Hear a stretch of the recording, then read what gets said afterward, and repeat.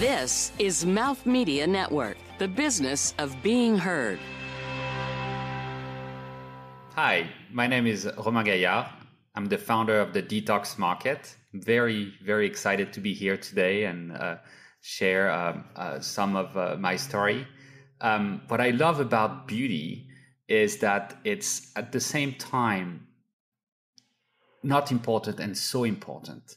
It's at the same time something where there's so many wrong things and so many right things. And so it's this uh, world and industry full of creative people and uh, and it's it's just a very very dynamic industry. So i'm very excited to be part of it.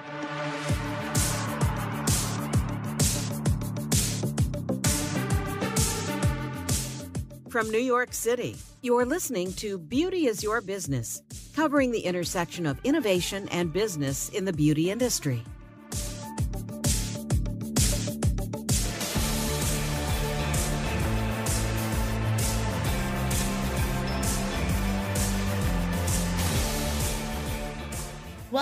to another episode of Beauty is Your Business. This is Karen Moon. I am here with my co host, Abby Wallace. Great to be here. And um, we're so excited to have you here today with us. There's a lot happening in clean beauty, obviously, but I love the authentic stories when it's like people were doing this before it was cool. Um, would love to hear about, you know, how you started the business and how your thoughts in the industry and how it's been evolving. Hi, Karen. Hi, uh, Abby. I'm so excited to be here today and and uh, talk to you. It's been a long time since uh, last time I saw you, and uh, so very excited to be here. I started Detox Market actually uh, over a decade ago, and uh, the the story is quite interesting. I got into that world through a friend of mine who's a, a breast cancer survivor, and she is the first one who educated me about toxicity uh, in the air, in the in the food you eat, and and in cosmetics, in personal care products. And um, when she told me that, I I thought she was a bit crazy because I grew up in France where you buy you know skincare in a pharmacy, and where you have rules for everything. So I you know I felt it couldn't be possible, and um, I did some research and found out a few things. The first one was that there were clearly some questionable ingredients um, in personal care in the US. It was very hard actually to read any INCI. I, you know, kind of like challenge anyone to understand anything about what's in what's in a personal care product. The second thing is I found out that the industry was um, completely unregulated. Um, because according to the FDA, if it's cosmetics, then it doesn't get into your skin, so they don't need to regulate it. Um, and the last thing I found out, which for me was very interesting, is that there were a new generation of brands that were doing everything right. They had um, beautiful formulas, they were avoiding the questionable ingredients, but also focusing on the actives, on the rare natural actives ingredients. Uh, they also had beautiful packaging, great stories, um, great founders, uh, and the products were working, uh, which is important in, in, in beauty and uh, and I felt no one knew about it. People didn't know about the toxicity side, which was one side of the, the, the story, and for me, not necessarily the most important one. And but they didn't know about the, the, the other side, which was that there were brands available that were beautiful. No, no one knew about it, and I felt I wanted to tell that story. So I found a space on Abbot Kinney, uh, a street in Venice, in California. It was a beautiful space, and kind of convince uh, about 12 brands to to to do a pop-up with me to tell that story in a positive way. And that was the beginning of detox market.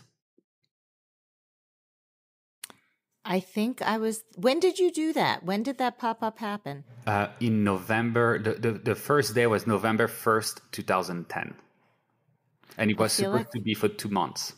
I think i was there when i remember it. I remember the logo so let me ask you when you were envisioning, and that's such an early time for pop up, right? I don't even know if it was called a pop up at that time. It was just a curation of, of products. It was. Were you near Space NK? Was that on Abbot Kinney? I can't remember. Do you remember that very original store? It's very small now. The, the, the Space NK was not on Abbot Kinney, not not that I know. Um, and it, Abbot Kinney was a very, I would say, audacious street to to to pop in uh, to in 2010 for a beauty store because it was mostly known for art galleries and yes. and, and, and restaurants and bars. A lot of great bars over there. So, how did you come up with the curation and choose the first 12 brands? Because that was really early on in the clean, natural, so to speak, movement. It really wasn't talked about at that moment. How, would, how did you put this group together and initiate and launch your vision for the detox market? it, it was actually the most fun part of it was to to to to put together this group of brands. Um, so I, I started ordering a, a, lot of products and trying a lot of products, and I felt that what I wanted to do was um, to curate a list of brands uh, where um, beauty was cleaner, more transparent, but also holistic. So um, we introduced beauty brands, but we also introduced other things like teas and matcha tea. So in, in the first pop up, we had the matcha uh, uh, tea bar um, inside.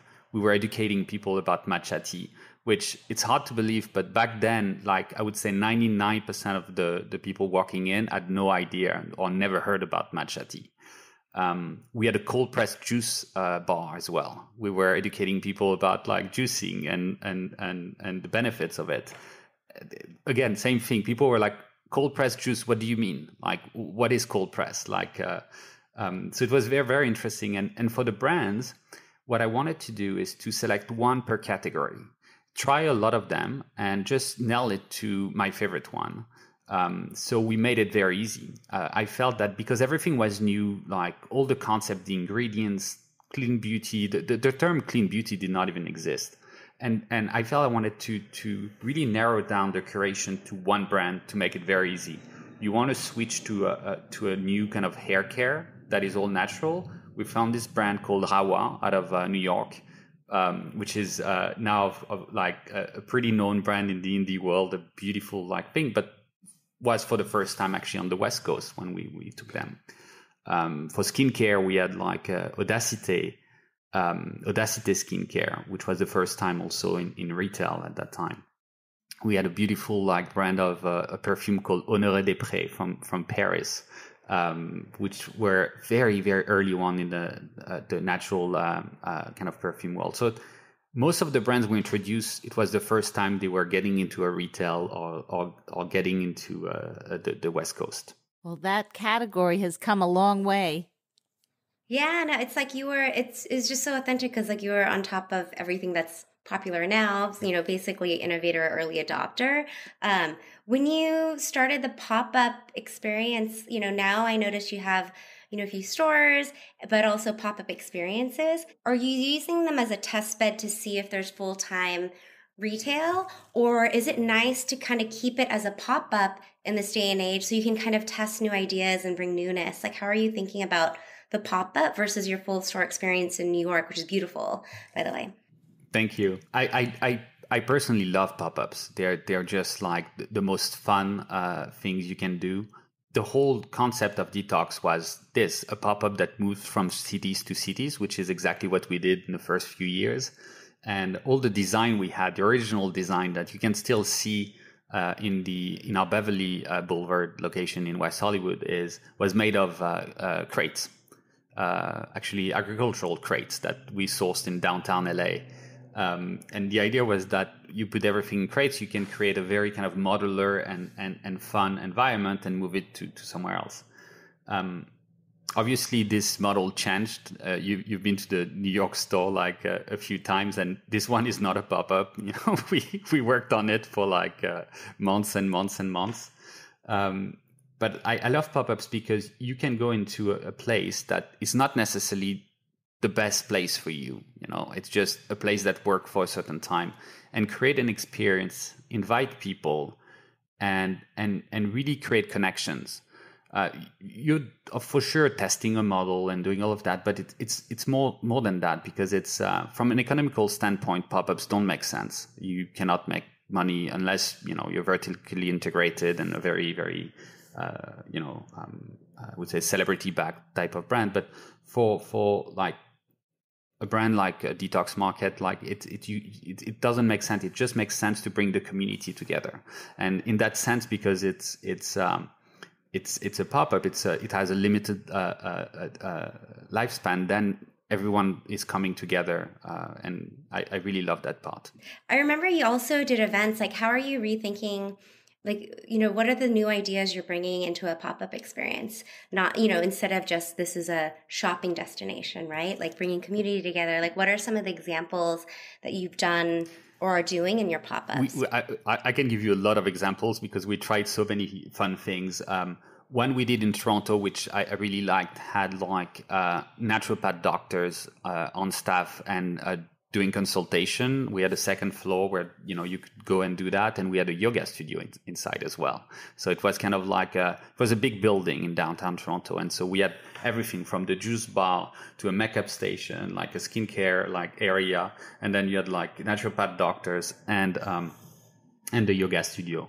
Um, we, we did the, the, the one in New York, which is not a pop up, but has a second floor that is just dedicated to events we've done everything from the launch, uh, basically, of, uh, of the New York flagship. For a week, we had three events a day. Uh, and so it, the day could start with uh, uh, uh, basically cold pressed juices from Moon Juice um, from California, which is one of our dear friends, um, you know, LA based company. And so we, we got juices from there and we were making um, smoothies. Uh, and then we would have like a, a brand like Innersense doing uh, some um, some hairstyling, and uh, we will finish with uh, meditation. And we did that for like a week. So the idea was to really kind of create this uh, environment that was very exciting for all the influencers and journalists to come, and they will discover a little bit of our world, and they could come at any time and experience something different we worked on a lot of like, of course, um, uh, meet the makers. Uh, we like to do that where we redecorate the entire floor, the second floor, and create um, a unique experience uh, for our community to come. Usually, it's very selective. We only allow about 10 to 12 people to sit down around the table and discuss with uh, a brand founder that sometimes you know like usually wouldn't do that for like 10 12 people but as they're so happy to do it and um, and we use also we we shoot uh, we create content around it uh, so we can um, amplify it and uh, and you know send it to people who are not able to come. So we, have done so many uh, formats. Uh, it, it's always for me the same is is to create a place that is um, a welcoming place where you feel like really welcome, a place where um, you discover something you you need to discover if you're going to go to an event for me i mean if i go somewhere i want to discover something you know. And the last part you get educated. And those are like the pillars of uh, i think our experiences to feel welcome to discover something and to get ed- educated.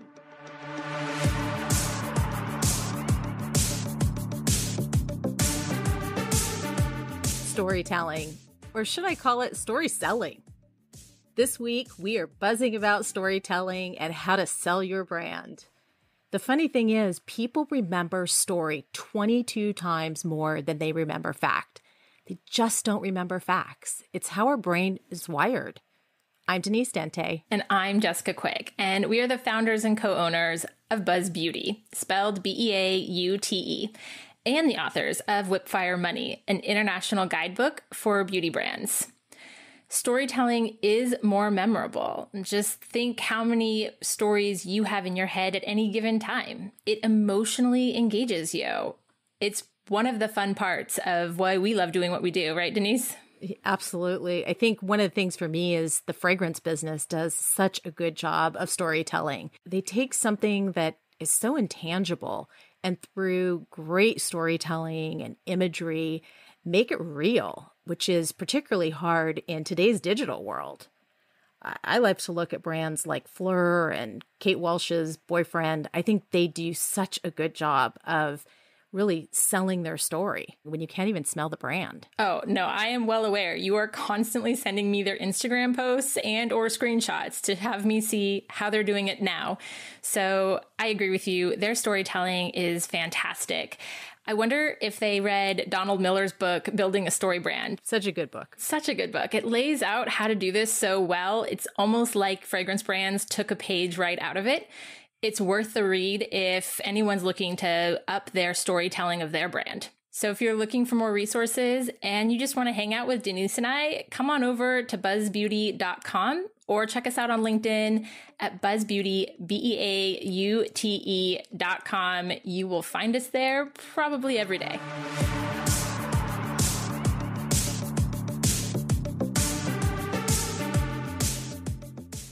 Do you think that the world will embrace this concept as we're coming out of COVID. You know, things have really changed. Everything you said, sign me up, I'm there. I'm in, let's go. It just sounds perfect and magical. Um, but because we've all been home for so long, what are your expectations as people start to move around again and come back into the world? Do you think that your concepts are going to be very um, you know, people have, become much more introspective. So do you think people are going to really be thinking and about these types of products? And are you seeing things in the market right now happening in a bigger way? So what what we saw, uh, especially with the first lockdown about a, like a year ago, was that people had more time. Um, uh, and I'm uh, I'm talking about everyone without small kids because I have small kids. I didn't have more time, but uh, uh, anyone without small kids had more time uh, to get educated, to learn about things, and uh, they spend a lot of time on the internet. And on the beauty space, the more you get educated, usually the more you get into the the world of clean beauty because you start looking at ingredients and and and you you see that the actives are usually like more on the natural side and that clean beauty brands or green beauty brands are more efficient and so we've seen a lot of people kind of switching to to to clean beauty during that time I think that it was a great time also for people to, and that past year, you know, if there's anything good of what happened in the past 12 months is it really helped people uh, reconnect uh, sometime with their family, with themselves, with nature. And when you do that, you, um, it again, you're like, I think you're going into that, that uh, journey towards uh, green beauty, towards wellness towards caring about you and caring about the environment. So um, that COVID kind of time was clearly an accelerator, I think, in in for a lot of people. What's going to be interesting is to see how uh, people behave afterwards. Are they going to go back to normal? Are they going to go back to? We're talking about events. Are going to? We, we haven't we haven't done an event yet, and we will. Like we're working on some, but are, are, are people going to come? Are, are they going to be crazy to do an event, or or or no one is going to show up? We don't know yet. It's going to be very interesting. I think people will come. I don't know if you've heard about revenge travel or revenge shopping, but it's happening. Like there is like lines at um, Louis Vuitton in um, London, and then I, it's just like it's just it's so interesting. I'm also in Miami right now, and that's just a different alternate universe. But there's this innate thing around human connection, and it's funny how easily people forget, especially when they feel safe. So hopefully that's cool, we're excited to come. I'm curious. Um, want to like jump more into like the business side of things too, and so like you know you've grown up with so many of these brands that also, you know, have started early on, you know, just looking at, um, you know, some of the list of brands that you have today and also some new ones. But at least, you know, I'm curious to know like how you think about the evolution and then what what you've seen, you know, in terms of success stories. What are the commonalities in the brands that are really winning in the marketplace? Um, because there, it is so crowded, right? And even in clean beauty, there was this white space, but now still a mar- market, but there's so hard to tell the difference between the different brands. So curious, like what you've seen to be successful um, now that there's more competition, and also like what are you looking for in your buying team as you're looking to bring a brand on, you know, either online and retail, and how do you think about all the channels? Absolutely. Um, it is very crowded you are absolutely right. And to put things in perspective, when we first started Detox Market, um, it was actually difficult for me to find in some categories to find a brand that was uh, uh, doing a good enough job that I felt I wanted to to feature it. So, for example, on the deodorant side, we didn't have a deodorant. We didn't have a clean deodorant in the first uh, detox market. So that's uh, that's how far we went. And now we I, I receive one new deodorant brand every day. On a daily basis, actually, we receive three or four uh, brands submission that um, want to get into detox market and and so the, there there's been an explosion of brands um, and you know we can talk about it uh, a bit but it's you know it's mostly due to like uh, some changes in industry where the barriers to entry are very low and so you have a lot of people that just do private label and uh, uh have a, a, good connection in a branding agency and kind of spin a brand uh, within a few months of course, those are the brands we're not interested in. that I, I, don't think people should be really interested in those brands because they, they don't add a lot of uh, value, right? Um, what we really look for, um, the first thing is we have a filter of ingredients, so things we don't allow. Then we look at the positive side, meaning um, it's good to to be made without certain ingredients, but what are you actually putting in it? Uh, what are like the actives? Why did you select these actives? how do they work together what's the concentration and so we, we have this conversation with with brands and if the brand founder is not involved in the formulation usually they don't even know how to answer those questions then we look at the packaging the product um, the story. Uh, are they uh, is it sustainable or not? Um, uh, are ingredients ethically sourced or not? And then we try the product. And uh, trying is obviously a very very important thing. It's we we want products that work um, because if not it's uh, it you know makes every, everyone look look bad and no one wants a, a product that doesn't work so the the efficacy of a product is is is key so it's a lot of steps and that's how we get to basically 1% of what we try um, looking at what made brands successful uh, I would say you have like kind of two two types of brands at that point um, at Detox. You have brands that have been around for a long time that were very early on to that movement. And in skincare, you will have a brand like uh, uh, in England, you will have a Pai, for example, uh, Tata Harper, you know, and so makeup, um, Ilia, RMS, uh, Kjaer all those brands have been around for like about some 10 12 years and um, and you know they're recognized very recognized. And we really grew up with them. Like uh, uh, a lot of those brands we were their first retailer um, I, you know Ilia which is one of the the biggest success I think in kind of like clean beauty makeup right now uh, started with six uh, um, lipstick. That's it. In the first detox market we had six lipstick. They were selling super well. We they still actually look so like they're, they're, it's the same design and everything. It, but it it started with six, right? Then you have like a second wave that is more recent that arrived uh, with more industry people, I would say, uh, that saw what was coming. Uh, because uh, uh, you had like uh, green beauty retailers that started, and people started having this conversation, and they came up with with um, with brands that you know are more recent, and um, and and we love those brands too. It's they they bring two different angle, but it's it's it, it's both great.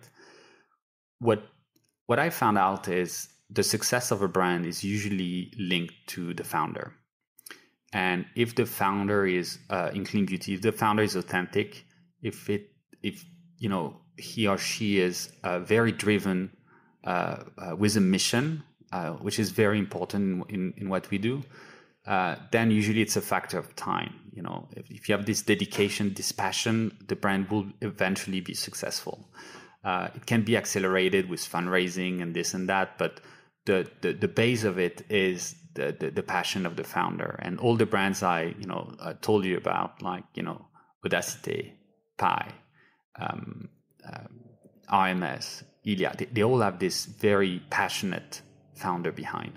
That's such a good interpretation, right? Because when someone usually starts a brand like these cleaner concepts, it's usually what I've known from years in the business is because someone had something mm-hmm. that they had to deal with that they wanted to change, right? So it's so interesting today. Now there's so much more information. Everybody can gather whatever they need at the, you know, Google in three seconds and learn. We don't know if it's always truthful, but it's so interesting to, you know, see how this industry, this subset area has really exploded. And I think it's just going to keep getting larger and larger as the world evolves. I'm curious to know about, you know, so a lot of these brands, funny, we just had the CEO of Kjaer Weis on um, just right before you joined. She's terrific, Jill. Um, do you find that the younger generation is as into these cleaner, um, more eco-conscious brands as as much as the older generation or older people looking to learn more? Are they more set in their ways? Like, where is it at on the demographic scale? Because there is so much information, um, and there's so much product out there. What what is your takeaway on that? It's very interesting from a consumer standpoint. We, you know, it's always you always try to understand who is is your consumer, uh, is uh, your follower, with uh, uh is a fan. Um, what we found out for for detox market is um, we have a very loyal um, um type of customer. Um, people who've been shopping with us for years and would trust us because they know that um, throughout this whole like I mean we've been around for for a decade for five years we were talking about clean beauty and and everyone thought we were crazy and but we didn't change a word of what we were saying. We didn't change a word of our mission. And um, uh, and, and and so we have this very solid base of loyal customers. And if you look at our customers now we we have different profiles. You, you have um, um, you have people coming because they have a health issue or someone you know around them had a health issue. And so they started looking really into what they eat what they put on their skin on their hair you know and and uh, how they clean their home. And so when you start asking yourself those questions you uh, usually end up in a uh, in a place like detox market and and and you have people like us who are truly passionate about educating people and getting people to try something new and, and better a better beauty which is which is what we do. Then we have also um, uh, consumers, and that was kind of like the big rise of, of clean beauty for me is um, consumers that were um, in this lifestyle. Um, we were uh, drinking cold pressed juices in the morning, going to yoga, uh, caring about uh, the environment, about what they what they are eating. Uh, a lot of vegan people um, for those two things of like health and sustainability. And when you're interested in this, clean beauty is just an extension of this lifestyle. And um, and we saw a lot of that with a newer generation of millennials. Uh, uh, you know, a, a, few years ago, we saw that rise. And I always give this example because for me it was um, I, I, saw it a few times, and uh, uh myself when I was in the stores is you you see um, a younger generation, someone who's like 28, you know, 29, 30, bringing their parents to the detox market and tell them, let me educate you let me tell you that you need to try this lipstick, uh, that you need to try this like face cream or sunscreen, and that you cannot use chemical sunscreens because of this and this and this. And this is a complete opposite thing that used to happen before. I grew up in France where um, usually it's the parents bringing the the, the the the the children to or like the teenagers to maybe select a perfume maybe uh, try a, deodorant or try like um, a cleanser that works for them. And so it was a reverse kind of like a, a model that, that we saw happening. And the last part, uh, I would say, are um, people coming to detox market not even knowing what we stand for. They don't even know that we, we, we are like, you know, about clean beauty. We are about sustainability. We are about inclusivity. They are just looking for something that works and they heard that uh, their friend went to detox market and tried a lipstick that was amazing or tried like a cleanser that was amazing. And so uh, sometimes we talk to these people and they they're like oh really? You're natural? I didn't know. And so um, that's when when i when we meet this third category that's where i think uh, we're winning because we have people that are truly only coming for the formulations, for the brands, for the experience we provide, and um, and that's really really important because at the end of the day, uh, what slowed down clean beauty at the beginning was the idea that it didn't work or you were you had to kind of compromise uh, efficacy to go into uh, a natural beauty, which is uh, absolutely not the case. That's so interesting. What about um, the online shopper? How do you navigate that in terms of content and sharing um, information to help people find products and brands that can help them in different ways. Is that a big part of your business model, the content piece? Yes, absolutely. We've been always attached to uh, creating relevant content uh, and useful content through like all different channels. It could be, you know, Instagram, Facebook, uh, uh YouTube, or on our own um, own website.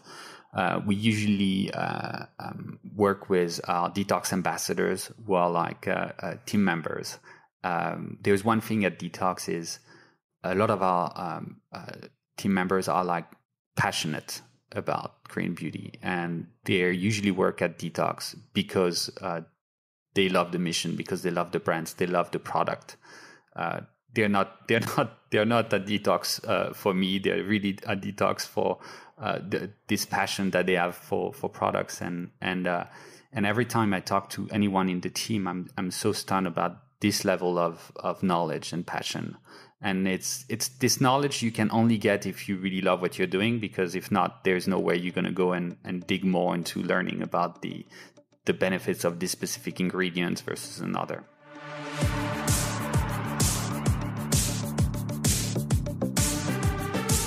you're, ro- you're rolling mark Oh, yes, I am. Uh, hey, hey, everybody. I'm Mark Rako. And I'm Puffin Ball. And we are two of the hosts of Fashion is Your Business, which is a weekly show. And in part, it's about fashion tech, but it's also about the intersection of business and technology, innovation, e commerce, business strategy you name it, we probably talk about it. We've had many people on the show over the last six years. We've been, we've not missed a week. Every week we've had at least one show. That's more than 350 episodes. Uh, with some of the foremost fashion technology. Ha- wait, have have we? We uh, I, I don't actually know this stat. Are have we ever missed a week? I don't think we've ever missed a week in one That's way or another, crazy. presenting some value. But uh, but enough about us. Let's talk about you. Wow.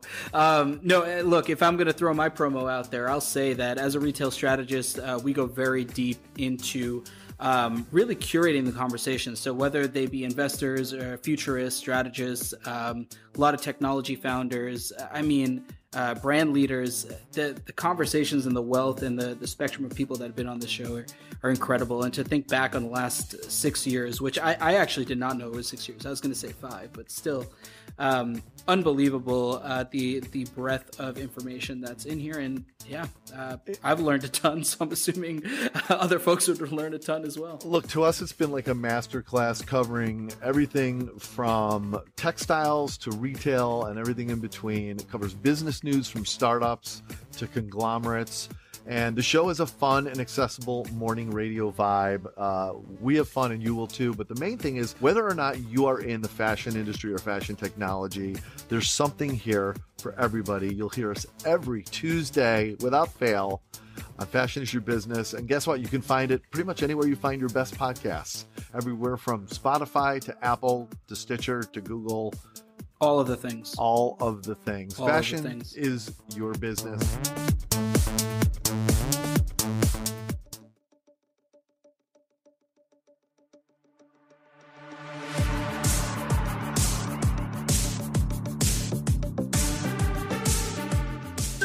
And now it's hitting the pan. This is one of our favorite parts of the show where we get to ask you a little bit more about you. So, to figure out who gets to ask the first question, we're going to take a spin at the salon chair. And it lands on Abby. So, I, it's funny, I was just reading an article about French pharmacies and how there are these amazing products, which we've always known since I'm like much younger. Whenever friends would go to France, I'd always say, Oh, pick this up in the drugstore. And since you grew up there, I'm just curious.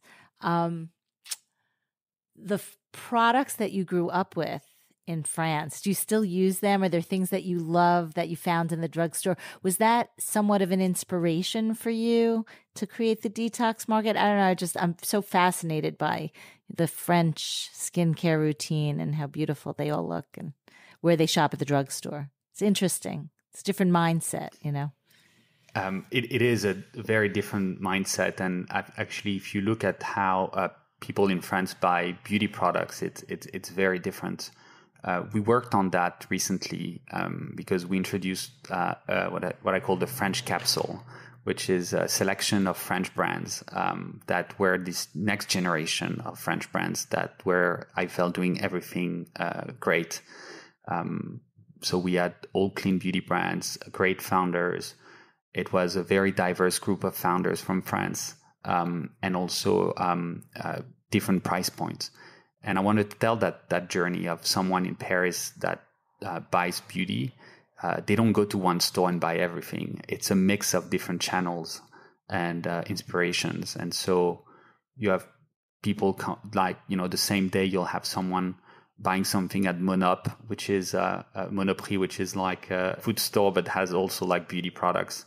And so they will buy something kind of a fairly cheap but clean uh, then they'll walk in a, in a in a neighborhood like Le Marais, which is a very uh, cool place in, in in Paris, and they will end up in in a store like usually standalone for like with one brand. And so uh, the brand we selected uh, was Vegans, which is a great uh, clean beauty brand based out of Paris.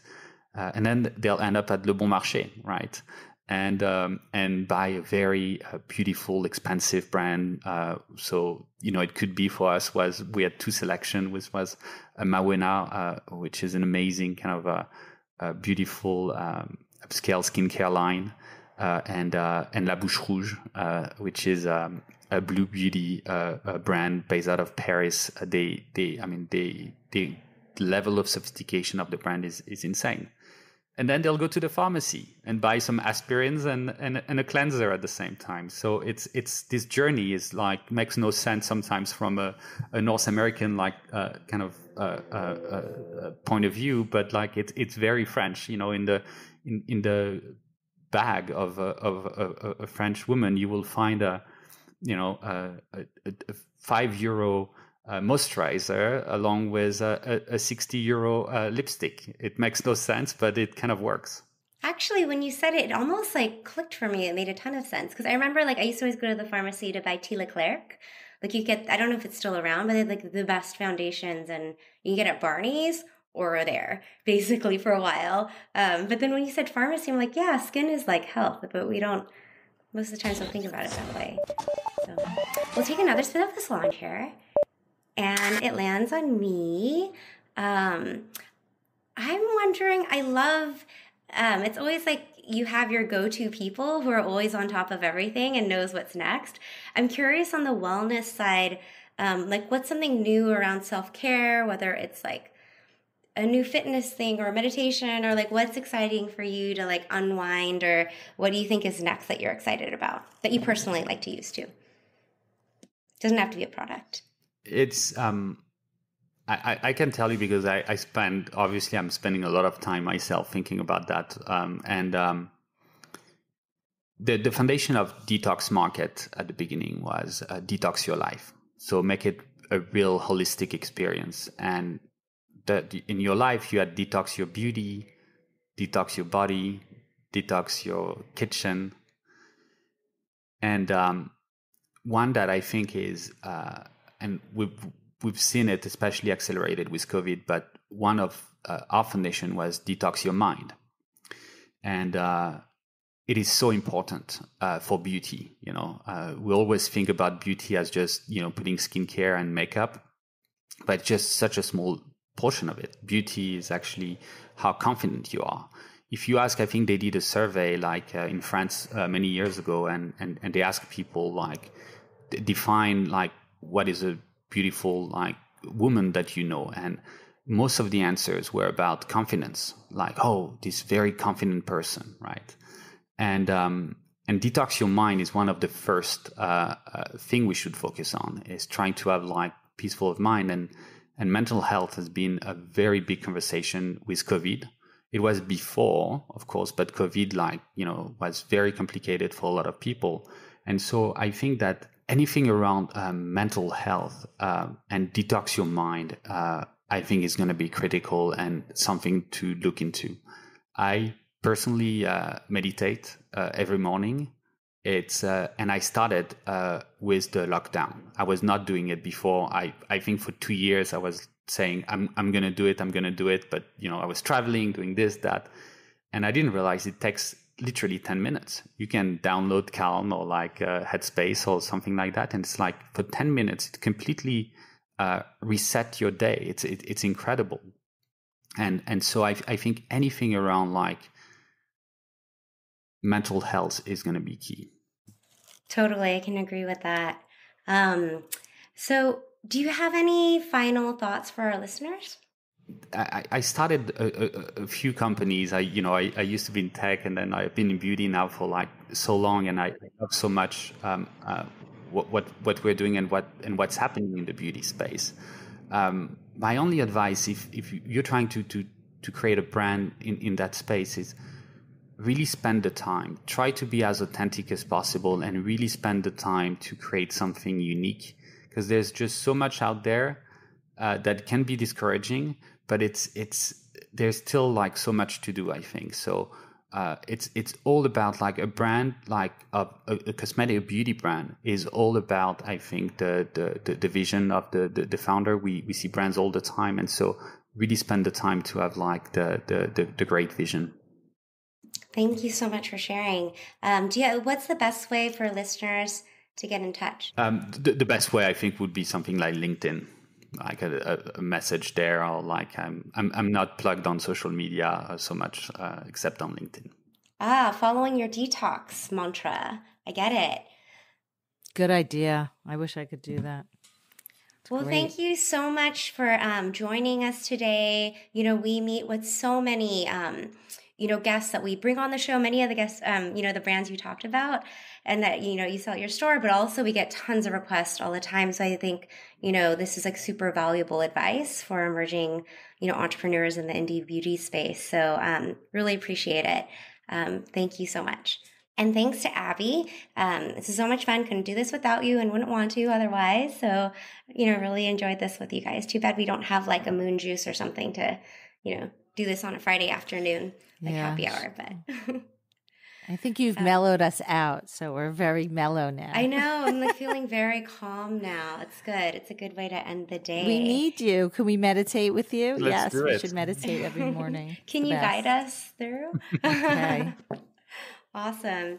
You have a very calming voice. He has a very calming voice, doesn't he? That's a good radio thing, right? So or podcast. Yeah, thank great. you, and thank Absolutely. you so much for having me. It. it. was a it was a, a great uh, moment, and um, and yeah, thanks. Awesome, and thank thanks you. lastly to our listeners for joining us on this episode of Beauty Is Your Business. We will see you next time. Hugs and kisses.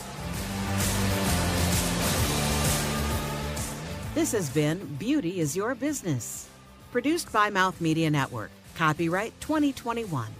Keep in touch on Instagram and Facebook at Mouth Media Network and find prior episodes at beautyisyourbusiness.com and wherever the best podcasts are found. Your brand message can be on this show. Email us to find out more at podcast at mouthmedianetwork.com. Thank you for listening.